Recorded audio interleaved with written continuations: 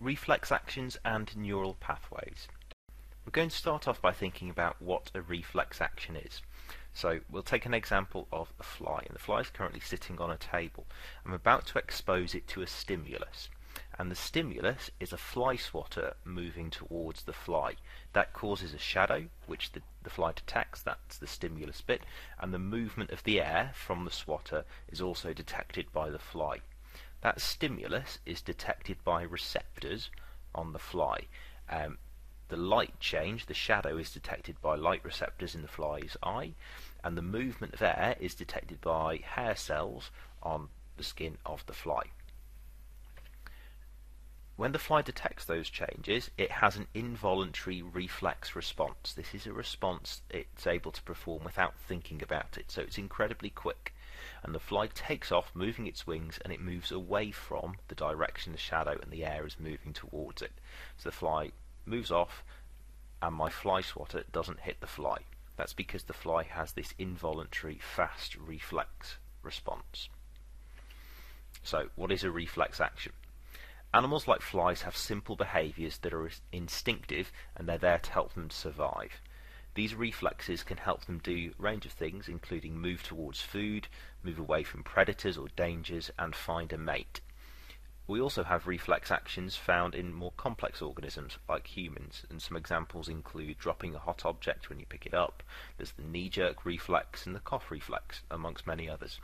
These are all involuntary reflexes, so they don't require you to think about them for you to be able to perform them.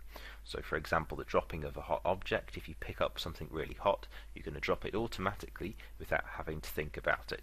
And that behavior is there to help prevent you from being damaged or harmed by the really hot object. There's two different ways that we can respond to changes in our environment. The first way is through chemicals called hormones, and they're released by glands. So you have a gland inside your brain, and that gland can release hormones that can travel through your bloodstream to organs around your body, for example, the kidneys. Um, that organ can then affect a change. This response is not as quick as a reflex. It takes some time for that hormone to travel around your bloodstream and get to the organ, so it's not going to give you that instantaneous response that we need for a reflex action. So we need another way of responding to the change, and that happens through the nervous system. And what's involved in that is electrical impulses being sent along neurons. These are incredibly quick because they're electrical signals, and that allows a change to be made very quickly. So reflex actions need to be quick. That's why they're unconscious. They're there to help us survive. Reflexes use the nervous system to ensure we get this rapid response. The nervous system is made up of two parts. The CNS, or the central nervous system, which consists of the brain and the spinal cord.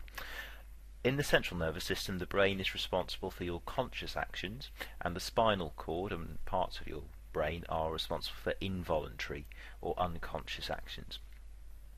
The central nervous system is connected to the rest of your body through the peripheral nervous system, which are neurons and neural pathways linking it up to all the different parts of your body, linking it to receptors and effectors all around your body. So let's have a think about how this actually works and what happens during a reflex action. So the reflex we are going to take is the example of a pin um, touching your skin, which your arm will move away from, and that's a reflex action. It's an unconscious thought. So the stimulus is a change in the environment, and that stimulus is the pin touching your skin. That's detected by receptors in the skin, so skin cells or pain receptors. Um, that then sends a signal along the sensory neuron because we've just sensed something, it's the sensory neuron, um, and that goes to the spinal cord. So we send that electrical impulse to the spinal cord along the sensory neuron. The spinal cord then determines what response is needed. Notice that it doesn't go to the brain, it's quite happy just to go to the spinal cord. That determines the response, sends a signal along the motor neuron, because we're about to do something, we're about to make something move, it's the motor neuron, and that travels to an effector, usually a muscle, which then causes the response. So the muscle is the effector, that's the thing that makes the change happen, and the response is the action that your body performs, which in this case would be to move your arm away from the pin. Next thing we're going to look at is this diagram, and this is a diagram showing a reflex arc or a neural pathway for a reflex. Um, so what you need to do is have a look at this diagram and work out which of the labels from the top here go on each of these lines. Pause the video, have a think about it, and then I'll talk you through the answers. Okay, hopefully you've had time to pause the video and have a go. So we'll now think about what the answers are. This set of cells here, these are the receptor cells, the cells that are going to detect that stimulus which is going to trigger our reflex action. that signal produced by the receptor cells travels along this neuron here, which is a sensory neuron, because I've just sensed something. That travels into the spinal cord, which is this here. Okay, inside the spinal cord there are these things here which are synapses and they allow the nerve impulse to move from one neuron to the next. Inside your spinal cord you have a relay neuron and this is the neuron involved in making that decision, um, making that unconscious action occur. And then leaving the spinal cord is the motor neuron, which an electrical signal will travel down towards the effector, which in this case is muscle cells. That's going to cause my action this set of neurons already exists.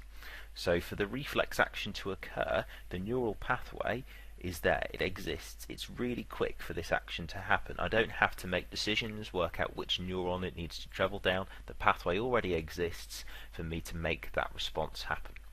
Which is why my reflex action is so quick.